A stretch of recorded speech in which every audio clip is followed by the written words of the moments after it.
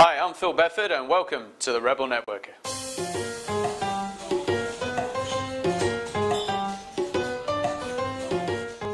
On this week's show, we're going to be talking about reciprocity, which is the way that you can generate more referrals without having to spend money. And in Ask Dr. Phil, we're going to be answering a question on how you can actually start to promote people that you care about and get them more business.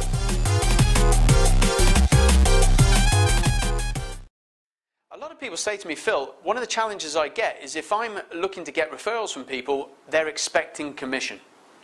Now, while that can be one way of doing business, it's not necessarily the best. There are other ways that we can motivate people to want to work with us that are often much more productive and longer lasting for relationships.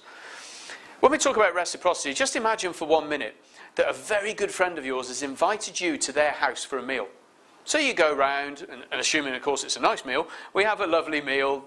You, at the end of that meal, you walk away, and what are you thinking? Well, there's every chance you're thinking, now I need to invite them to my house. But what if they invite you again and you still haven't invited them? What do you start to think? Deep down inside us as human beings, we're starting to think, I need to do something for this person. So, what if that was business? What if somebody was giving you business on a regular, consistent basis? You would start to think, what do I need to do for this person? As fundamental human beings, we need to make that equilibrium. That is givers gain or reciprocity. But it doesn't have to be just business we're handing back. There are other things we can do for each other. We actually recognise 16 relationship builders in the Referral Institute, uh, and a couple of those are here. So I'm going to give you some tips now on what else you could be doing to compel people to want to help you. Well, number one is to volunteer your time. There might be something they need help with. It could be moving a house, it could be mowing a lawn if they're ill, it could be cooking them a meal if they're ill. Anything that you do where you volunteer your time generates goodwill.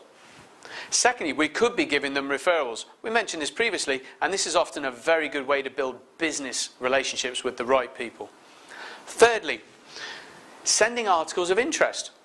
Information can be king in business. And if we can send the right piece of information to one of our referral sources or people in our network, that could be key to them.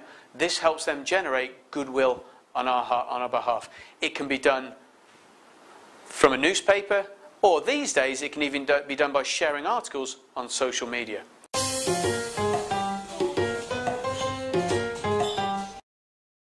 On this week's Ask Dr. Phil, I've had a message from Christina in Germany, who's in marketing. And she says, Phil, what's a very quick way that I can help people that I care about to generate more word of mouth when I'm busy? Well, Christina, one good way would actually be to carry their, their roll up banners or some of their marketing material when you're going to events. If you're presenting, or even if you're just going to networking, perhaps you could take their material and also distribute that for them. So that's this week's show. And remember, you can send your questions in to phil at the referralinstitute-me.com. And if your question's answered on Ask Dr. Phil, then you'll get a free Platinum Rule assessment that will help you look at your behavioral style and maximize your time while networking.